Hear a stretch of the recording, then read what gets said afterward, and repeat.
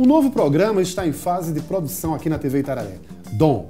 Mais do que um caça-talentos, mais do que um show de calouros, mais do que um festival de música. Dom é uma mistura do que há de melhor em cada um desses gêneros, num formato documental e de entretenimento. A proposta do programa é fixar ainda mais a relação de apoio à cultura regional através de seus artistas, revelando cantores, cantoras, grupos, músicos e compositores.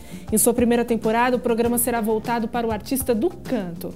O objetivo do Dom é revelar pessoas que possuem o dom de cantar e não são profissionais ainda. Seja parceiro da TV Itararé na revelação de novos talentos. Indique alguém ou se inscreva pelos telefones 21018211 ou 8200, né, Thaís? Ou através do Facebook, né, da nossa página, página do Diversidade. É isso aí.